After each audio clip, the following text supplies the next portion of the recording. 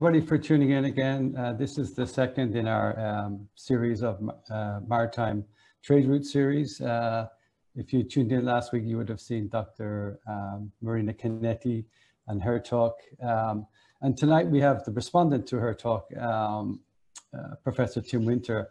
And um, just to make things fair, we're going to let Marina respond to Tim this time. So this is so, sort of a, a, a two-part um, a two-part series, really. And as I said last week, this is really in the run-up to our um, maritime uh, China and the Maritime Silk Routes uh, Symposium, which is happening uh, Friday week, so the 21st to the 23rd of August, where we'll be covering a lot of these topics in a lot more depth. So if you haven't signed up already, do, do please uh, join us for that. Um, so without further ado, let me uh, introduce the two speakers again, and then I will hand the floor over to, um, to Tim. Uh, professor Tim Winter is the ARC prof uh, prof professor, professor, sorry, Professor Future Fellow uh, at the University of Western Australia and author of Geocultural Power, China's Quest to Revive the Silk Roads for the 21st Century. Uh, and futuresilkroads.net is his uh, website. Um, the respondent tonight is Professor Marina Kaneti. She's at the Lee Kuan Yew School of Public Policy, National University of Singapore, and her research focuses on the intersection between visuality, governance, and power. So without any further ado, I'll hand the floor over to Professor Winter, please. Thank you. Thanks, um, Stephen. Hopefully um, everybody can see my screen. If not, um, just give me a shout. Um, okay, I'd like to start naturally um, thanking Stephen and Denise for organising this uh, webinar series. It's a fascinating set of discussions and I think we'll be um, developed into a fascinating conference at the end of next week. Um, tonight, um, I'm going to connect to some recent developments that are happening um, uh, in, a, in, a, sort of broader public domain around the ways in which um, the politics of memory and history seem to be um, entering public debate in different countries and in different regions. We've seen this feature into elect electoral politics in the US and debates around social justice and memory. The Black Lives, Latter, Black Lives Matter movement and the Rhodes Must Fall movement have both raised awareness of the importance of our history is represented and commemorated, and what happens when complex histories consolidate around certain heroes and stories. So today I also want to look at what role history plays in the present by examining a term that's gaining rapid currency or rapidly gaining currency, and that is the Maritime Silk Road. But instead of talking about individual monuments, I want to look at a much bigger scale and offer you a much bigger, broader picture that incorporates many locations, many actors, and some powerful forces that are, that are at play today. So in Asia, across the region, history and heritage have become multi-million dollar industries in the last couple of decades. This is being driven by tourism, city making, and so forth. It's also central to the identity making uh, politics of the region and often this gravitates around the nation state, and that's received an, a, an extensive body of critical work within academia in the recent uh, 25 years or so. It's a process that's also been given prestige by organizations like UNESCO and others who are in, involved in this sector. But current developments are forcing us to look beyond the national towards the regional and how to interpret what is happening. What questions do we need to ask? What connections do we need to make to interpret what's going on today? So to begin to answer that question, I think we can actually go back in time because the late 19th century and what happened in regions such as the Middle East offers a useful guide for understanding uh, what might be what might be at stake today. So the, so the image you see there is of the Palestine Exploration Fund, a British organisation of archaeology ostensibly that was surveying um, the Levant and the Holy Lands that became uh, geographies of the Bible, archaeology or biblical archaeology of the late 19th, early 20th century. So looking back at that period, we now have a much better understanding of the links between the writings of history, the role of archaeology therein, the ambitions of imperial powers, and the securing of influence of territories that came through infrastructure. We also have a much better understanding of the role of disciplines such as archaeology that have played into that space, and, and books like this have helped reveal those connections. Um, but what we also uh, have got a sense of is the roles in which the ways in which um, archaeology has played uh, played a, played a role in the construction of civilizational discourses. and the ways in which they were fashioned within particular political and ideological contexts, namely empire, whereby the processes of the peoples of the world were placed in hierarchical categories of race and religion and culture. And I would suggest it's to such, uh, sorry, that's moving too fast. I would suggest it's to such uh, histories that we need to look to to ask some questions about to interpret what's happening today and pay critical attention to the forces that shape how the past is being written and rewritten and then represented. So as Marina showed, the heritage boom in Asia is now turning to the seas and the oceans. And I would argue that Belt and Road is a key driver of this. It's a project that was launched in 2013, and it's a project of continental connectivity across multiple sectors. As I think we all know, it's, a, it's been branded as, a, as the revival of the Silk Roads for the 21st century. I'm sure you're all familiar with these types of images that uh, appear in journalistic uh, publications, uh, think tank reports and academic publications that um, speak to a history of, of this revival of the Silk Roads for the 21st century. Sorry, my slides are behaving erratically. Um, um, and uh, as I say, this is presented as, as the revival of the Silk Roads for the 21st century, which is giving, um, which is giving, sorry, this is uh, frustrating. Um, which is giving uh, um, new impetus to cultural sector collaboration projects within the architecture of Belt and Road. What we've seen in the last few years since 2013 um, is the rise of film festivals, mayors forums, uh, cultural sector projects across archaeology, museums, heritage, theatres, so on and so forth. It's very much about celebrating the story of the Silk Road. Um,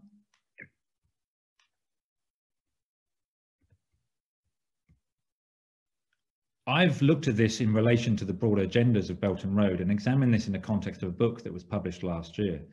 And arguing in that book that we need to look at the Silk Roads as one of the most rec globally recognizable and compelling geocultural forms of the modern era.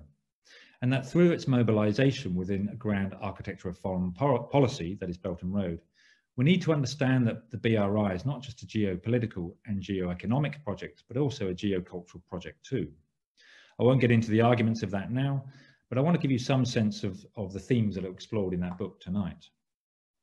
So as part of the research for that project, it involved examining what is the Silk Road and what are, what are its origins.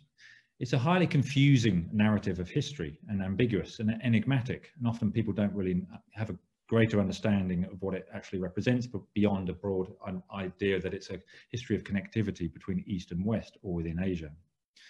It was invented in the, in the late 19th century, as I'll soon explain, but it's been subsequently expanded in terms of the themes it incorporates, the areas and the timeframes that it brings into this sweeping arc of history. But one of the things I also wanted to demonstrate in the book, which is important to what's going on today, is that as, as a geocultural concept of the 20th century, it's become, or it's come to be associated with certain ideas, ideals and values, such as cross-cultural dialogue, it's a story of peace and international cooperation, but it's also a history of dialogue between civilizations. It's also through the histories of Xuanzang or uh, Marco Polo, a story, they become metaphors of cosmopolitanism and dialogue between cultures, regions and, and countries. It's also from the, particularly from the European perspective, a history of East and West dialogue and peaceful interpolity relations. So what I will give you a sense of in the next few minutes is what role those, those themes have played through the course of the 20th century and continue to play um, today within, within this era of regional connectivity. So as a, as a narrative of history, it's often identified or argued that the term was coined by Ferdinand von Richthofen, a German geologist or geographer more broadly, who traveled to northwest China in the late 18 or in the 1870s who was there to map a potential transcontinental rail line. He was sponsored by a number of organizations, including the German government, because it was a country that was industrializing fast and Northwest China had coal reserves that, um, that European countries needed. As a geographer in the broader sense, he was also interested in histories. Now on his return and taking up an academic position in Europe in, in the mid-1870s, he worked on a publication that was published in 1877, the first volume named China, within which chapter two was called The Silk Route, or in its German equivalent. And what this depicted was a history of commodity trade uh, that linked China to uh, the, to Europe and particularly um, uh, the Mediterranean region. And it was a history that focused primarily on the two centuries either side of the birth of the Christian era and, and effectively then documented those trade routes that linked Han Dynasty China and the Roman Empire. Now, it would be mistaken, would be mistaken to think that that uh, initiated a, a, widespread understanding and interest in the Silk Road and, and, and Northwest China or Central Asia in Europe at that time. In fact, it was not until um, 1890 and the, and the uh, transportation of a manuscript to Europe, which has subsequently come to be known as the Bower manuscript, that ignited wider interest in this region within European uh, universities and, and academic circles. What that did was trigger a rush of exploration and, and uh, search for antiquities, whether it was manuscripts or archaeological or artistic artifacts, with explorers traveling from uh, Russia, Germany, France, Great Britain, uh, as well as Japan. This has come to be known as a golden age of Silk Road research that came to an end. It was a short window that spanned from around 1890 to the outbreak of World War One. What we can also see is that the ways in which this played out against the backdrop of the Great Game.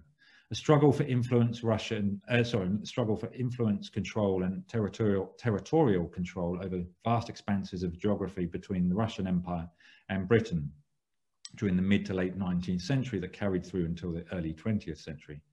In those dots in the center, you can see the sites of uh, where antiquities were uh, discovered and recovered from, and the construction of trans-regional and even transcontinental infrastructures in that uh, quest to gain regional control. And I think that offers an interesting parallel to what we're seeing play out today.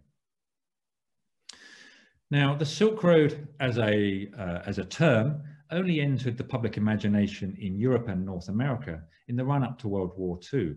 Sven Hedin, one of the Swedish explorers that was traveling in that region during that time, was, was one of uh, von Richthofen's students. He was a much popular uh, and widely read uh, author um, and, and, enjoyed a certain amount of notoriety in Europe until he became, until he, um, became entangled in the Third Reich in the run-up to World War II. But what he did and a number of other uh, projects did during that time, Hollywood was taking up the, uh, the, the, story of Marco Polo and, and produced a number of films. And Marco Polo became, came to be folded into the Silk Road story. But it's important to remember that Marco Polo didn't travel until 1272. So what we start to see is an arc of history that spans one and a half thousand years that comes to be folded under the Silk Road as a, as a grand story of East-West connectivity. But what that other, uh, what that Ngram result shows us is that um, whilst it gained popularity in the run-up to World War II, doesn't really, the Silk Road as a term in the West doesn't really start its pathway towards global fame until the end of the Cold War. So through the through those decades between the end of the Second World War and, and, and the early 1990s, histories of global connectivity, east-west peaceful dialogue don't gain much political currency in a geopolitical environment where east and west were, were cleavaged apart and the suspicions uh, of the Soviet Union and the capitalist West. This was also a period, the early 1990s, where Central Asia was also looking to, uh, governments were looking to redirect re, uh, their foreign policy initiatives and their tourism industries and saw that the Silk Roads was a strategic uh, discourse they could use to position themselves as the crossroads between East and West. We also saw, obviously, the first stages of, of Silk Road tourism during that period. So what we see then, and in this timeline, is the ways in which the Silk Road as a, as a narrative uh, only gains popularity in the West over that period. So if you look at the top there, you'll see a timeline of the early 1970s and the number of publications on the Silk Road during that period that only really begun, begins to proliferate at the end of the 1990s and continues to explode right through to today. And these are all Silk Road publications. A lot of these, if not the vast majority, focus on the overland route um, and the traditional way of thinking about the Silk Road that von Richthofen um, constructed in the late 19th century. Central to its uh, popularity at the end of the Cold War was a 10-year project that was led by UNESCO this was an initiative called Silk Roads Roads of Dialogue. There was an attempt to revive the uh, the east-west connectivities that were broken from the from the decades uh, after the, in the aftermath of, of, World War II. This was about rebuilding trust, international cooperation, and, and dialogue. This ran from 1988 to 1997, and it was central to the idea of the Silk Road becoming central to um, ideas of peaceful cooperation, intercultural dialogue, and interpolity relations. As part of that project, that initiative, which involved conferences, exhibitions around the world, and multiple media projects, there were also a number of expeditions that were undertaken that involved journalists and scholars traveling for a few weeks through Central Asia and up to a number of months um, on the maritime Silk Road, as I will explain shortly. So what we see in that in those uh, central uh, routes that you see in the center there, it's a it's a line that and a route that largely replicates von Richthofen's idea of the Silk Road that travels through and around the Taklamakan Desert from Dunhuang across to um, to Mediterranean Europe. So this Silk Road Roads of Dialogue project was built and conceived around three principal routes, and I'll come back to that shortly. But what we also see there, one of those routes is the Maritime Silk Road. So the question, the important question is how did that happen? How did we move from a, from a narrow definition of Silk Road histories that spans just the Roman Empire trade with the Han Dynasty China to a much broader geographical and expansive history that includes maritime connectivities, linking the Mediterranean right across to Nara in Japan. To answer that question, we need to go back to the 1950s. I'm sure many of you in Singapore are very familiar with the Bandung uh, meeting uh, of 1955, which gave birth to the, to the non-aligned movement, bringing African and Asian leaders together. But what has also happened, but has mu received much less academic and, and public interest, was a meeting that happened in Tokyo in the following year, where a number of the Asian leaders got together and invited UNESCO as, a, as an, and encouraged them to think of an initiative that would develop East-West relations, that was another East-West beyond the geopolitical East-West of the Cold War. UNESCO duly went back to Paris and conceived a project that was formally titled the East-West Major Project on the Mutual Appreciation of Eastern and Western Cultural Values. This highly ambitious project ran from 1957 to 1966 and it included themes around religion, art, folklore, music, craft, literature, and archaeology. Now, this was, uh, as I say, this was conceived in, in 1957, and as part of Japan's contribution, the Japanese National Commission for UNESCO organized a couple of workshops, one in Kyoto and in Tokyo in 1957 during that same year. In the run-up to that, uh, to those events, a report was produced that drew on the idea of, of uh, von Richthofen's Silk Road, but very much wanted to expand the themes. And I'll come back to the ways in which that happened shortly, because it's essential to the ways in which this triangular notion of the Silk Road expands over the coming decades. But for the moment, it's important to note that this, this project of the uh, 1950s, these workshops, began a path of increased interest in, in the Silk Road in Japan, one of the few countries that had interest in it, where the where the where a moment where the rest of the world was largely uninterested in this history of East-West connectivity. The first Olympics was held in Tokyo. Eh, first Asian Olympics was held in Tokyo in 1964. Since 1936, the flame that travels that leaves Greece in the run-up to any Olympic event leaves Greece and travels to the destination. And in 1964, the flame uh, followed, and I quote, a route that was branded as an international relay along the Southern Silk Road. The flame traveled through Turkey, Iran, Pakistan, India, Malaysia, Thailand, and other places. And for those countries where it was unable to be traveled, where it was unable to be carried by foot, Japan Airlines developed a particular technology to allow the flame to be carried on board and skip over those more diplomatically and politically uh, difficult places, as you see on the right. The two images you see in the center there relate to an important moment that took place, in, an important event that took place in um, 1972.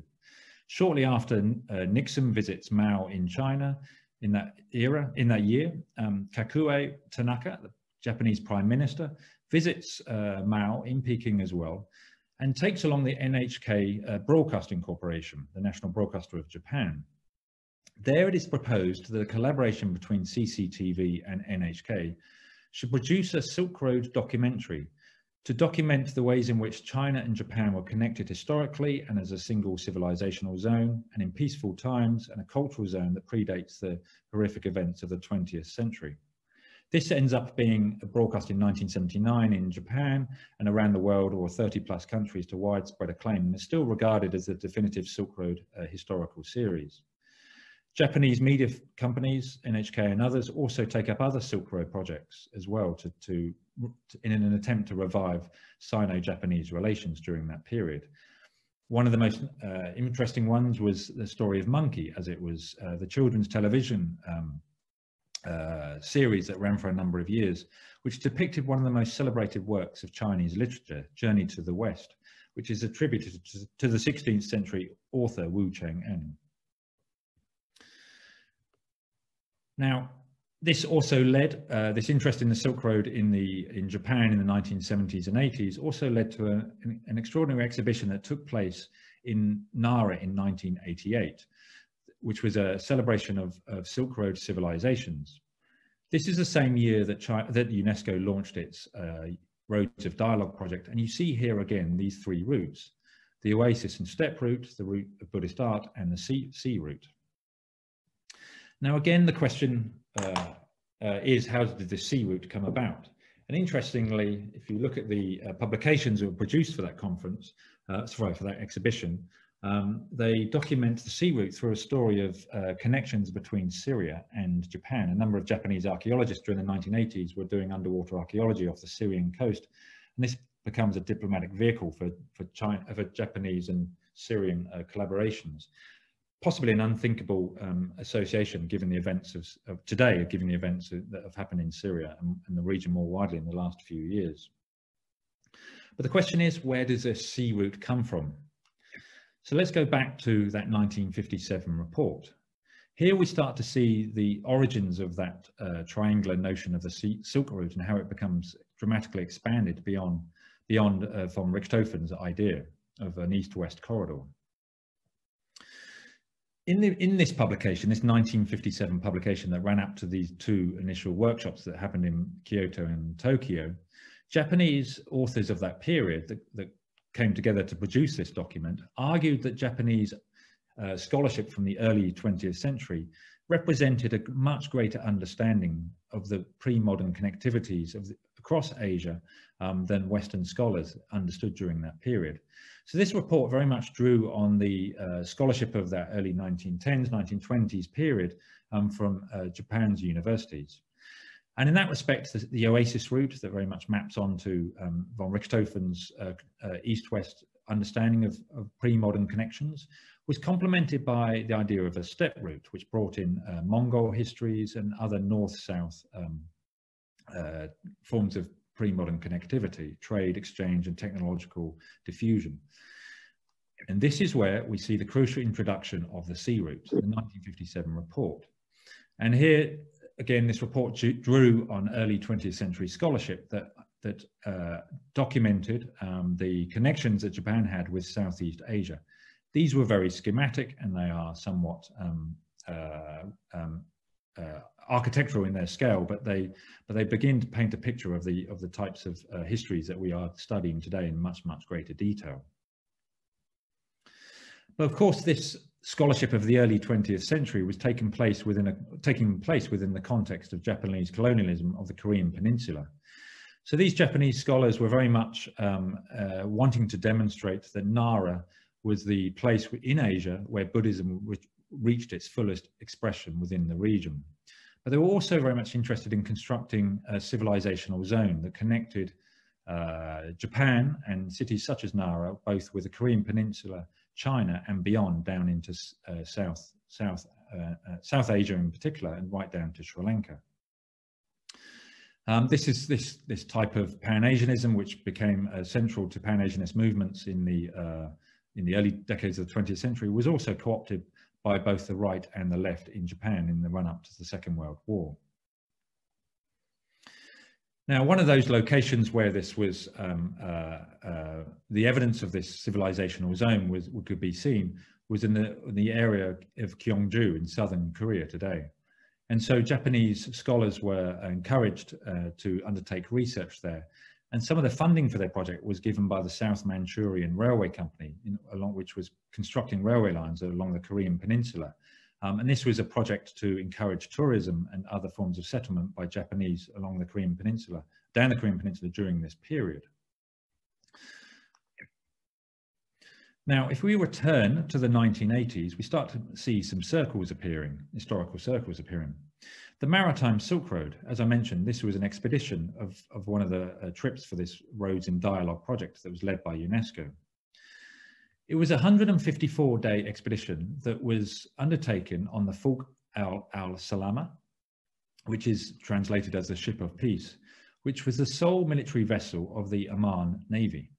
The Sultan of Oman donated his this this ship to uh, the United Nations, and uh, to to lead this voyage across that started from Venice, traveled through the Suez Canal, flying the flag of the United Nations, and eventually traveling up to uh, Hakata and, and um, East Asia six months later. On board were a number of scholars and journalists from the New York Times, from the BBC, who documented maritime histories with a number of lectures and stories focusing on the voyages, the seven voyages of Zheng He across the Indian Ocean.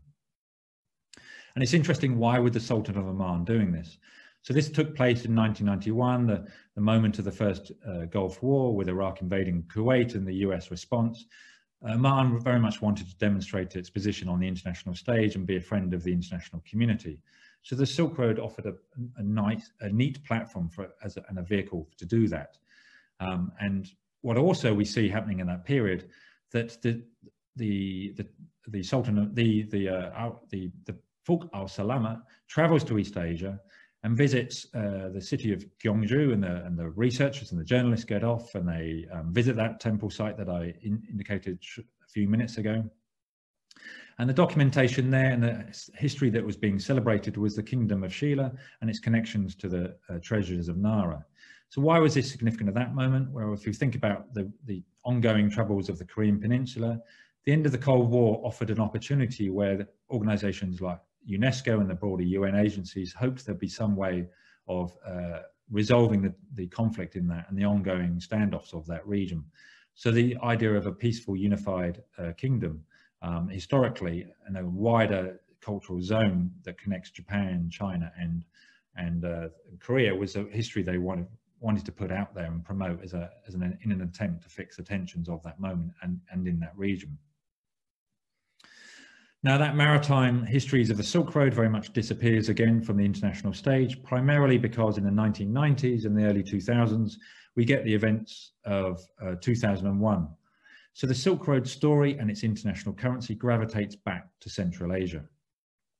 On the events of 9-11, uh, Pakistan, Afghanistan, um, and the republics of Central Asia are all sources of suspicion for the West and particularly for the US in terms of the fundamentalist Islam that was um, uh, seen to be um, fermenting there.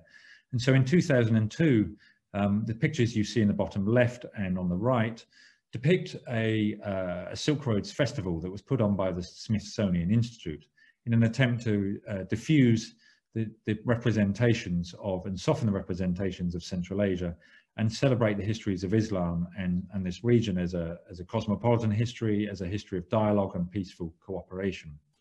So again, we see the diplomatic resonances that the Silk Road was um, was that afforded that the Silk Road afforded during these uh, highly uh, uh, significant moments. What we also saw during that period, during the 1990s and 2000s, was the emergence of the Silk Road as a foreign policy strategy. Um, we saw that from China, um, Japan, Korea, and also the United States. This new Silk Roads project report that was written by Frederick Starr um, and it was eventually taken up by um, um, Hillary Clinton during the Obama administration, but it was initially blocked by Congress in terms of its funding, offered a model for uh, winning hearts and minds in Central Asia through Pakistan, Afghanistan, and transboundary infrastructure as a mechanism to do that. If you look at that report, you'll see it's very much a template for the Belt and Road Initiative today, interestingly. But what we've also seen in the last few years is uh, the rise of the Indian Ocean become a multipolar region and a geopolitically sensitive area.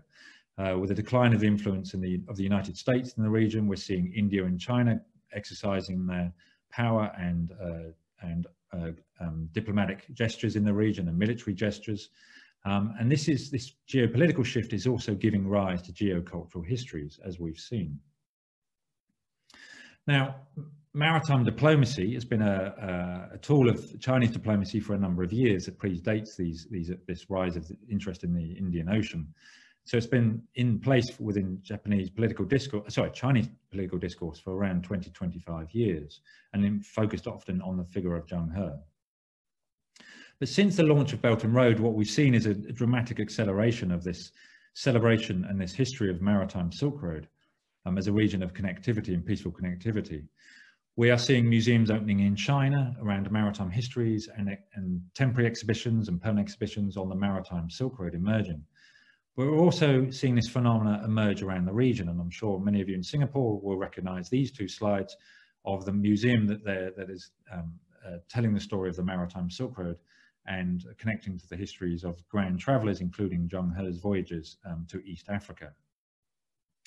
But in the era of Belt and Road, we're also seeing a dramatic increase in cultural sector cooperation around maritime archaeology.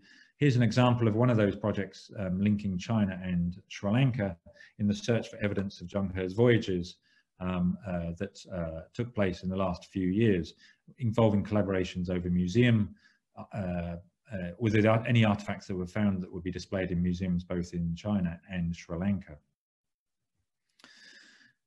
one of the things I've argued in the book is that these cultural sector collaborations of Belt and Road that come under that umbrella and celebrating the history of the Silk Road are also converging with the wider agendas of BRI infrastructure development. So those two grey circles illustrate where maritime archaeology in Sri Lanka and the, on the left in Kenya converge and over, overlay um, the wider agendas of Belt and Road in terms of infrastructure, whether it's ports, rail, highways, or uh, uh um, mega city developments. And there are other examples um, that are, uh, show this pattern that have documented um, in the last few years. What we've also seen more recently is the Maritime Silk Road become an umbrella and a, and a term by which we're understanding and framing World Heritage nominations that celebrate maritime histories. This is that, that uh, those slides there uh, are in, involve the, the, the, nomination of a city of Quanzhou in southern China, which has been framed in part as a, as a maritime Silk Road nomination, um, but also uh, China's connection to Southeast Asia more broadly. So what I'm getting at here and what I'm uh, showing and demonstrating that what we're seeing is um, the maritime Silk Road stabilizing and normalizing um, as a uh, as a representation of history and a term that um, is being stabilized and un uncritically accepted as fact. What are the implications of this? Well, um, one of the things I think it's far from a stable history, and one of the things I, have hopefully, hopefully demonstrated in, in, in, the previous 10 minutes or so, is that the Maritime Silk Road as a story of regional connectivity has been shaped by particular events and historical processes that have taken place over the 20th century. It's anything but stable. It's a narrative that continues to evolve and mutate. When Japan was driving the agenda, places such as Nara and Gyeongju were given prominence and visibility and became part of the Silk Road, the maritime Silk Road history. At the end of the Cold War, Oman featured heavily because of the international relations landscape of that moment and the role in which Oman wanted to play therein. But now in the age of Belt and Road, we're seeing the maritime Silk Road expand and travel as far as Greece for tourism purposes. It features countries such as Kenya, Sri Lanka, and Tunisia, as I've documented in some other publications. But interestingly and importantly, it also excludes others, most notably Japan, for the geopolitical reasons which I think you might be able to anticipate. But we are also seeing this, this history being driven by one country, China. Potentially that's a positive development. Asia's maritime histories have not been given the international visibility that they warrant. In Western accounts of world history, the Indian Ocean region has been widely overlooked until the Portuguese entered the, the Indian Ocean in 1500. It doesn't feature in any world history predating that, that, that 1500 period. So one of the things I've tried to argue in the book is that Belt and Road has created a political economy for a whole new way of imagining, displaying and writing the cultures and histories of Eurasia. And in that respect, it opens up exciting possibilities. But in today's maritime heritage discourses, we are also seeing the pacification of history as episodes of conflict, imperial ambition, bloodshed, and other difficult histories are all excised from the record. There are inconveniences to the diplomatic and trade imperatives of the architectures of regional connectivity, whether it's Belt and Road or others. So Belt and Road has propelled us into a new era in the political use of maritime paths, as we saw last week with India and Indonesia responding. Through the Maritime Silk Road, a romanticized depiction of regional exchange and peace, trade and intercultural dialogue is emerging. We are seeing complex pasts being distilled and contrived for both public consumption and for strategic deployment. It is a process that fascinatingly combines and constructs history as both a national patrimony and as a shared heritage. And it's that very combination that allows maritime past to be powerfully activated within the geopolitical ambitions of connectivity to today, of today. The examples I've shown here suggest that we need to look more carefully at these new histories that are being written, both in the corridors of academia and museums and in the public imagination. Are they privileging certain periods, countries, themes or heroes, and simultaneously ignoring other peoples, regions and events? But what does it mean for history to be Eurocentric, Sinocentric or even land-centric?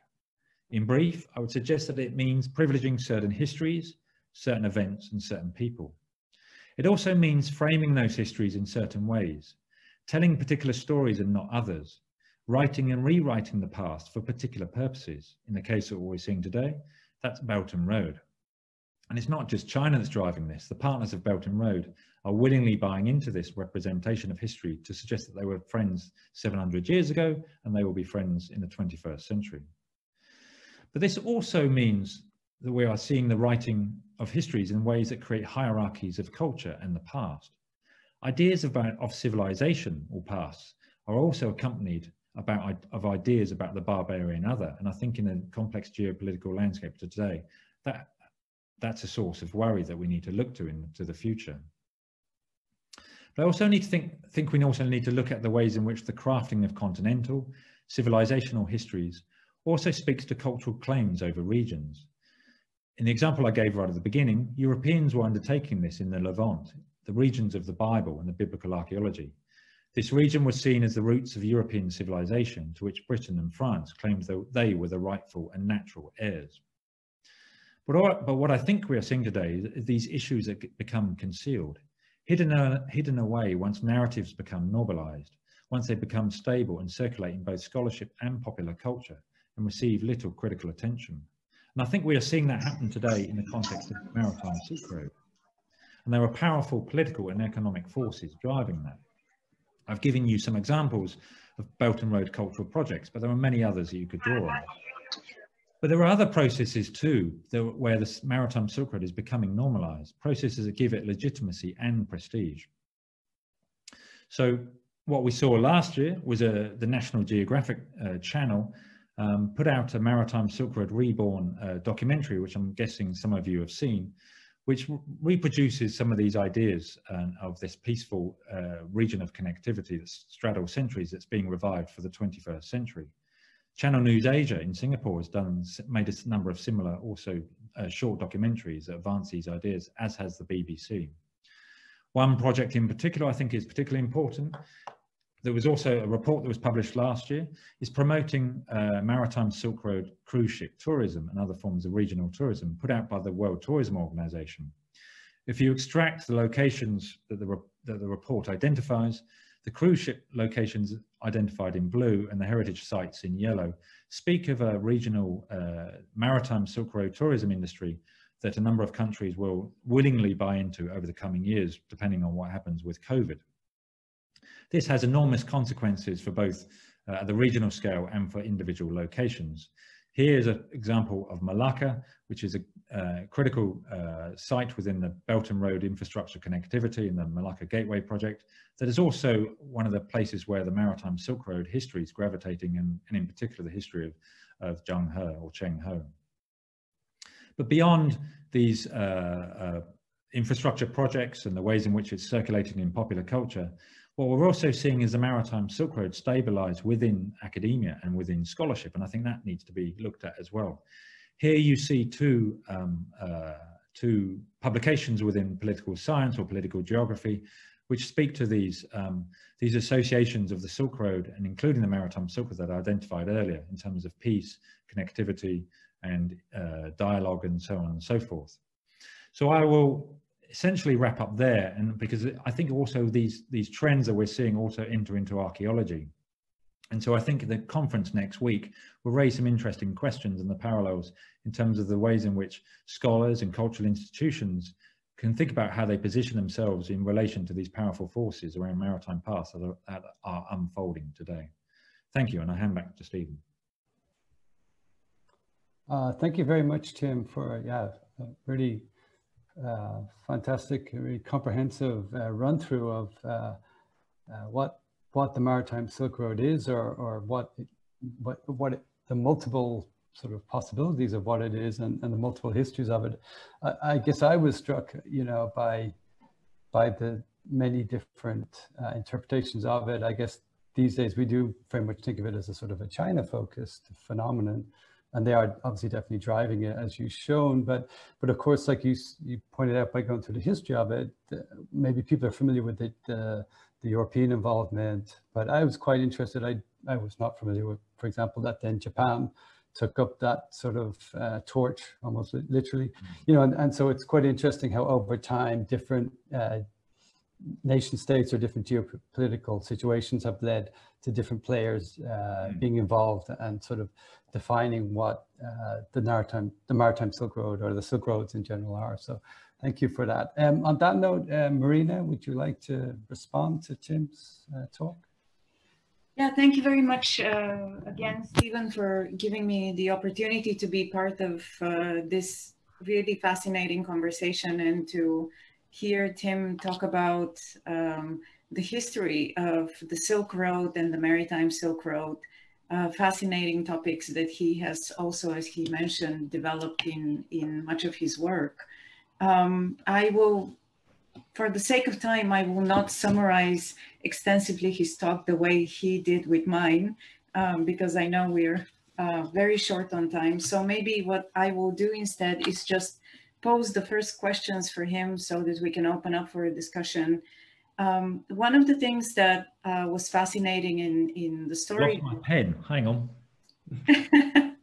he, he's obviously worried, you know, he has to write this question he down. Write the questions. He thinks it's a five-part question. No, it's, it's only going to be a three-part question. I'm, I'm, I live in Singapore and I know the, the rule of three. but it's really Two at best. okay, so so are you ready? Sure. Um, so one of the fascinating things about your work, Tim, that I really appreciate is that you give it a lot of historical context. Um, and it, it, was, as, Stephen mentioned, it was nice to hear about Japan and, and Oman. And now kind of the baton is passed on to China. Um, although it seems that you're a little more uh, ambiguous about what the, what it means um, because uh, China particularly connects the maritime Silk Road and the Silk Road in general to uh, their geopolitical ambitions. But um, the actor uh, that was left out um, or only mentioned briefly, uh, but everybody cares about that actor is UNESCO. So mm-hmm. can you talk a little bit more about how do you understand uh, the trajectory of UNESCO over this fascinating course of many years? Because they seem to have been a major player and they still are a very major player in that. So that, that will be my first question to you. The second one is, again, uh, looking at your uh, kind of historical overview of this, I really liked how you pointed to certain uh, critical events in history. So you talked about the Cold War. Uh, well, we can even go further back, but but you did talk about the Cold War. You talked about 9/11, um, 2001, uh, which were uh, sort of major global shifts. Um, do you think that COVID will be another major global shift like that? And what would that mean for the Silk Road overall, where the narrative of the Silk Road is about connectivity, and whether we are talking land or maritime, um, it still um, sort of the same issue. How does connectivity um, happen uh, in, in this day and age of COVID? And my last question uh, will be uh, to take you a little bit back to what you started with. So you started with toppling of um, different statues, uh, which is pretty much statues of uh, European uh, colonial figures for the most part.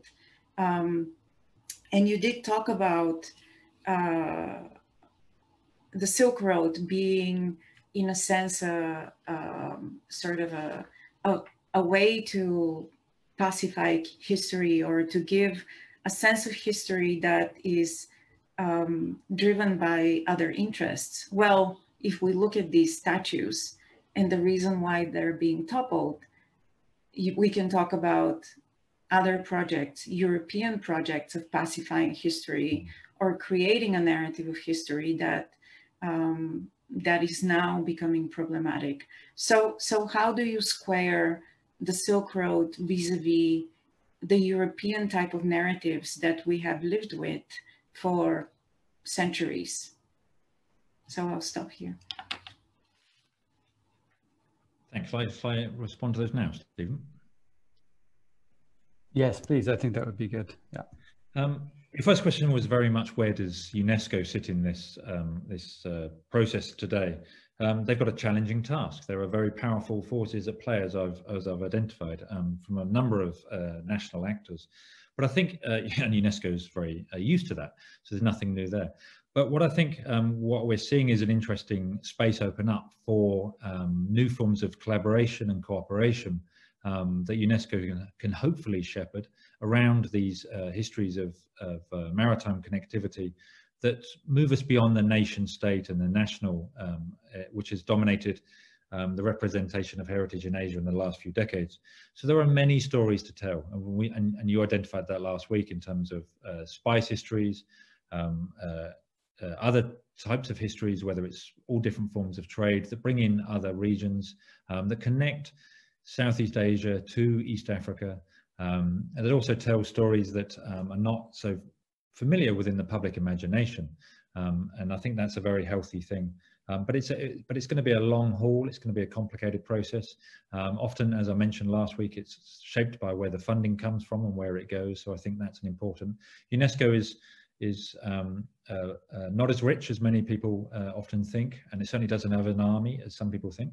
So it's gonna it's gonna be embattled in ways that it needs to um, uh, uh, maneuver in a diplomatic way that brings these different uh, actors together in, in what can be a very very productive way, and in a way that kind of speaks to your third question. So I'll jump to that, um, and that's that. Yes, that European history, historiography has framed uh, Asia in certain ways. Um, and I think the maritime speaks to that in a really, really important way. And, and, uh, and as I mentioned, um, the importance of both uh, the Indian Ocean and Central Asia don't really figure into uh, world history in the way that they should. Um, so the connections between East Africa um, and countries such as Iran today that um, don't really get any recognition. And there's possibilities that those um, those sort of deeper histories of of trade and, and connectivity can can be explored and given visibility. Um, so uh, so yes, there are, uh, there are ways in which uh, uh, these this there's there's a new political logic for giving visibility to the histories, but your your question was framed around uh, the idea of statues and the role they might play in material culture more broadly, whether it's museum collections or artifacts or, or buildings or, or even, as I say, uh, statues that are built for particular purposes. The statue is a problematic way to commemorate history, I think. It celebrates heroes, and that's often a very narrow way and a very often a male dominated way of thinking about history. Um, the issue of Gandhi opens up the complexities of that, of someone who has a complicated life, they're thinking develops and evolves, but they get framed by particular moments. Um, and, and Gandhi's experiences in South Africa and his potentially racist interviews that were um, uh, that he um, uh, offered during that period, that now become a source of attention. Um, and uh, so I think there's some innovative ways, and, and, that's where the digital comes in, right? That's where the, we can explore all sorts of fascinating ways to capture these these other histories in in, um, in new ways and get us out of these traps of thinking about monumental histories or, or um, monumentalizing history in those ways. Your second question uh, asked was focused on COVID. Um, I think that's a fascinating issue. Um, and, uh, and obviously it's, it's uh, had a dramatic impact on uh, the tourism industry in Asia, um, which was one of the key components of the Silk Road um, phenomena that was growing. And with China now 150 million pre-COVID numbers, 150 million Chinese tourists coming out of, of the country, uh, that um, many of them traveling to Southeast Asia and uh, other parts of the region. Um, and often visiting now and thinking about their trips framed in terms of um, Silk Road histories. And I would suggest that China is encouraging that and, and constructing a, the idea of, a, of, the Chinese population now is inheriting a, a lot, much larger geocultural history, of which China sits in the middle, um, and the revival of, in that sense, of the Middle Kingdom. But COVID also reveals an interesting phenomenon. There were five pillars that were identified in 2015 of Belt and Road, um, and infrastructure, trade, finance, so on and so forth. But the one that often gets ne neglected was people-to-people -people connectivities. What COVID has showed us is that globalization, everything falls over once people to people connectivities can't happen. Borders close, trade collapses, economies collapse, so on and so forth. It's extraordinary how um, this has happened in such a short period. And I think particularly in academia and more broadly within policy, this people to people connectivity is um, is uh, has not been understood that well. We don't have a particularly good way of thinking about it, I think. Um, and in, I think one of the implications of COVID is that it's going to uh, um, encourage forms of isolationism, um, potentially forms of xenophobia as nationalist populist movements um, uh, consolidate their power within closed borders and reopening borders, um, encouraging new forms of people-to-people -people connectivity is really important. I think that could be the long-term um, dark side of COVID is that um, this, this, takes us into a new complex geopolitical space. And I think um, re-establishing uh, people-to-people connections and rebuilding those those forms um, uh, is really important. And if the Maritime Silk Road as a form of uh, cultural dialogue can encourage that, and it pr provides mechanisms which I sort of documented in, a, in the wake of World War II and the Cold War, then I think that's the way in which we might be able to think about it going forward um, in the future. So I think that's a you know that's a, a, a potentially very very productive um, space that the, the Maritime Silk Road can occupy. Thanks, Tim, for those very comprehensive answers again.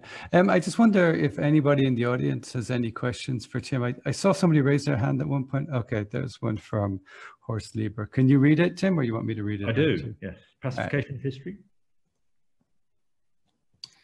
So the question is about, for those who can't read it, is about the, um, uh, I'll do your job for you, right, Stephen? Thanks, Tim. um, the question is about the pacification and the rewriting of history by whom. Um, isn't it our task to produce unbiased histories um, and, uh, and properly reflect um, news sources um, and, uh, um, in, and the ways in which we might be thinking about how narratives are being fashioned? I think that's very much true, and and and, as, and hopefully what I tried to show is that um, there's a there's a in in popular culture there are there are forces at play that that shape the ways in which history comes to rep be represented. A narrative is everything. And so, um, so the ways in which particular events get focused and people and, uh, and particular ways in which those events get represented is, a, is something we need to pay attention to.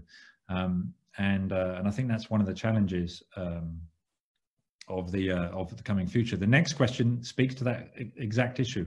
Um, the next question was about uh, what, what if we have would have called it the slave route instead of the Silk Road? I mean, obviously, not a great deal of silk traveled on the Maritime Silk Road. It's extremely unhelpful terminology. Um, if anything, it should be the ceramic route, but in that respect, um, no commodity really captures the complexities of pre-modern connectivities and pre-European encounters across across the region. So yes, it's uh, gravitating towards one particular term, theme, or or, or, or uh, or commodity opens up a, a, number of difficult questions, I think. Okay, actually we have a question. Uh, Charlie B raised their hand. Char do you want to see if they can unmute them if they want to ask a question? Oops, sorry. Hi. Oh, hi. Yep. Hi, my name is Charlie. I'm based in Singapore. Thanks for that uh, excellent uh, briefing. Um, I'd be curious of your uh, analysis of the risk of uh, the histories being written, particularly by China, but also by others, and how um, how is it, is it dangerous? Is this normal? Does uh, the academic community need to study these things um, and take risks to challenge these narratives, even if that risk means hurting their chances of getting further funding? And is there actual physical risk to evidence that um, is counter to the narrative that they're pushing? Thank you. Thanks, Charlie. If I understand your question correctly, Charlie, you kind of suggested that is there a risk to both people and the material culture um, in, in your second question, in your second part of your question. But yeah, I, I would say um, there's, well, you, I guess you identified risk in a number of ways. And I think that's a really good way of putting it. Um, yes, there's, uh, I think um, we are in a complex uh, national and international space now. The geopolitical rivalries that we're seeing in different regions, um, it's far more complicated than the Western media portrays in terms of US-China tensions. Um, we've got an, an, India that's nervous about an expansionist and an ambitious China. We've also got countries further afield in, in uh, such as Iran and Turkey that are very much looking to um, uh, use their uh, nostalgic past and um, Erdogan's neo-Ottomanism is also um, playing a role in that part of the world. So these, this use of history um, for both legitimizing uh, both domestically and forming uh, allies and friendships outside uh, national boundaries is a new complicated space, I think, that we need to pay attention to. Um, and, and ways in which that draws both researchers, institutions, and the, even the, the artifacts is, um, is actually quite important. Yeah, I think there's, there are risks of those. And I think it's um, incumbent upon uh, those involved, and I, hopefully that's what I've tried to communicate today, that um, that it's not a, a, case of burying your head in the sand and ignoring these issues. I think there's reasons to pay attention to these developments. Thanks. Uh, we have a few more questions we can take. Uh, so one from Chen, who thanks you for the fascinating talk. Thank you, Chen. Uh, question for Tim. The overland route of Silk Road's Chang, uh, Chang as and sorry, sorry, Chang'an as a Tianshan corridor was inscribed mm. as a World Heritage Site. It is a joint project China, Kazakhstan, Kyrgyzstan. Actually, you, you've written about this, Tim. Uh, do you think it's possible that joint efforts would be invested by China, Southeast Asian countries to nominate maritime Silk Roads for World Heritage? Yeah, good question. Absolutely. And something I'd be quite interested to hear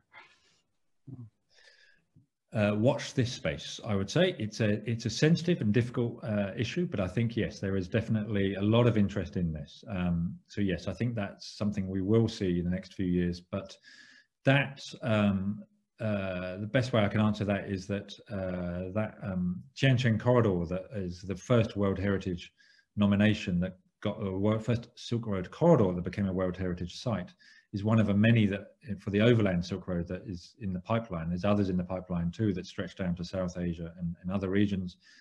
And they are based on a very extensive report that was put together um, by Tim Williams at UCL in London, who identified, I think it was 83 potential corridors um, for uh, overland Silk Road World Heritage listings. Um, and these brought together, you know, ostensibly transboundary uh, uh, nominations are brought together um, uh, number of countries. And it's important to remember that in the in the wake of uh, the devastation of World War II, UNESCO was established to to uh, uh, foster forms of international cooperation around education, science, and culture. So this collaboration between countries on Silk Road World Heritage nominations is is a good thing, and it's a productive set of developments. And um, and I think what we need now is a is a there is no equivalent document for the Maritime Silk Road, and um, and there's um, work in progress towards that around how we have a, a, parallel document that identifies how we think about maritime histories across the region that kind of give a, um, a, a more robust uh, depiction of, of this complex history. Thanks, Tim. Um, another question from AJ. I think I'll phrase it a bit more wider because it's something I, that, that actually I was thinking about as well when I when I was uh, listening to your talk. Um, it seems like the the Maritime Silk Road or these these type of imagined uh, maybe imagined civilizational zones, if we can call them that. They you've done a very good job of showing that they have um, a lot of potential, but then of course there's also pitfalls as well. And and I I can see where AJ's question is coming from in terms of uh, China being the more dominant uh, uh, author, I guess, in this narrative at present. I mean, I guess we're already, Marina's talk last week sort of showed some of the resistance that's coming up to it. Um, but, you know, if you look back, your talk showed, of course, as well, that at, at one point Japan was using this for its own um, political motives in terms of vis-a-vis uh, Korea and so forth. So, so you know, this is what what China is doing right now is, is nothing new, and of course, the mm. Europeans, I think, we're doing it as well. So, so maybe you could address it in a broader sense. Um, where where does the balance lie, or where does the tension and co contestation lie within, you know, within this this concept of of maritime Silk Road? Yeah, and again, I think that's a, that's an interesting question, and it's a, it's a highly complicated question um, to answer in terms of how it will play mm. out over over the coming years. I mean, Sri Lanka is an interesting case where, um, I mean, the Belt and Road Initiative is is subject to elect, electoral politics around the region. So governments come and go, and um, and in that respect, some are pro-China, some are less pro-China, and some are very um, anti-China. And um, and so the, the the willingness of certain governments, and then and then uh, institutions within the country to buy into this uh, project is, is, is varying and it changes over time. Um, and of course, um, the, the role of the overseas Chinese plays a role, uh, particularly in Southeast Asia. Um, and and the, the, ways in which histories, in particular, someone uh, to give it the Chinese pronunciation of Zheng He is understood differently in Malaysia and Indonesia, for example, um, and how that figures into um, types of projects that can be uh, activated within Belt and Road Cooperation. Um, and uh, yes, it will. It, it's it's a. I think it's a it's a it's a topic of 50 PhDs and over the coming years to think about how this will unfold and and also um, and the risks it poses. Um, and, uh, one of the PhD uh, candidates I'm working with is looking at you know the possibility, the ways in which um, this is now um, encouraging and potentially encouraging new forms of illicit trafficking of antiquities from Southeast Asia to maritime artifacts to China, um, as there's a growing interest in these histories. Um, so that, I guess, also speaks to the question of Charlie around risk, right? And and um, and uh, um, and uh, and the uh, widespread uh, interest in maritime histories means we're going to see a dramatic increase, I think, of collecting both institutionally and privately in countries such as China. and Southeast Asia needs to kind of think about that. Mm, that's a very interesting point, and I guess very pertinent for myself in particular and my colleagues at the museum. I guess in one way we've pivoted in terms of our Asian export art is, is one way we've been collecting in that area. But but of course, um, as you say, you can also um, encourage illicit trade um, and, and, you know in its sort of different area um, i think we're almost out of time i think from ewan's question uh, to what extent can we quantify the amount of materials that pass through the Maritime Silk Road, ceramics and tea. Maybe we'll leave that till next week. It seems like a lot of the, yeah, I don't think Tim is a material cultures guy per se. Um, so yeah, Ewan, if you can hopefully make the conference, uh, there'll be quite a few panels, uh, one panel in particular on that um, from Amir, given the narrative fluidity, um, how do you see opportunities for exploration highlighting of non-colonial uh, I think, yeah, we touched on that a bit last week as well. I think what I'd like to do maybe is just give uh, Marina one last chance if she wants to hmm. make a concluding remark, or and, and then I think we'll wrap it up. Thank you everybody for your questions, though. Yeah, I just um, was able to unmute myself, which is a good thing. Um, well, oh, what I, I can perhaps only add is that um, the field of maritime Silk Road and the Silk Road in general is, is a very complex one. And um, we have to thank uh, Stephen for giving us an opportunity to bring the conversation about Silk Road to the museum, which is a, a as, as I tried to say last week, an extremely important space of how the histories are crafted uh, and what narratives we have. So I think we all have a, a very big agenda on, on our hands to continue questioning um, the narratives that are, are created. And at the same time, I completely agree with Tim that um, preserving a sense of, of connectivity is very important in this day and age. Um, yes, it, it has its challenges, but um, the uh, alternative is is rather grim. Hmm. Yeah. yeah, on that note, well, to try and, try and end on an optimistic note, but